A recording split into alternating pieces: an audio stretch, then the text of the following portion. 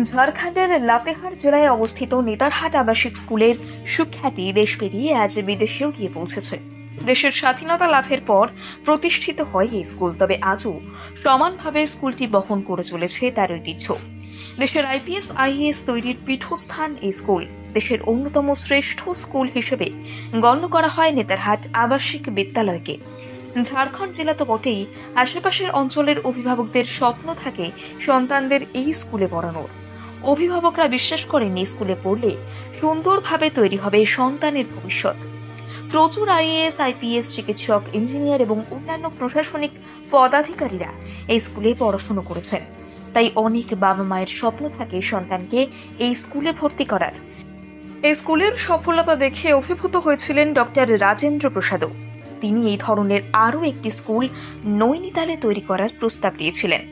এই স্কুলের প্রায় তিন হাজারের বেশি ছাত্র আইএএস, আইপিএস এবং অন্যান্য সিভিল সার্ভিসে কর্মরত।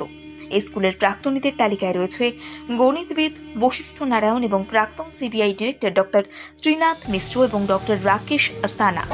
প্রাক্তন স্বরাষ্ট্র সচিব জে বি তুবিদও এই স্কুলেরই ছাত্র ছিলেন।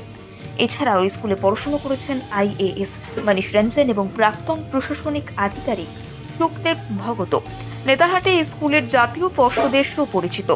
দেশ বিদেশের বহু গুণী ব্যক্তি পড়াশুনো করেছেন এই স্কুলে। বর্তমানে বিভিন্ন প্রশাসনিক পদে বহাল রয়েছেন তারা।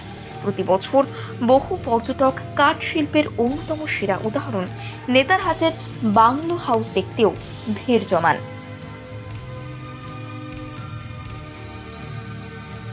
ঝাড়খণ্ডের লাতেহার জেলায় অবস্থিত নেতারহাট আবাসিক স্কুলের সুখ্যাতি দেশ পেরিয়ে আজ বিদেশেও গিয়ে পৌঁছেছে। দেশের স্বাধীনতা লাভের পর প্রতিষ্ঠিত হয় এই স্কুল, তবে আজও সমানভাবে স্কুলটি বহন করে চলেছে তার ঐতিহ্য।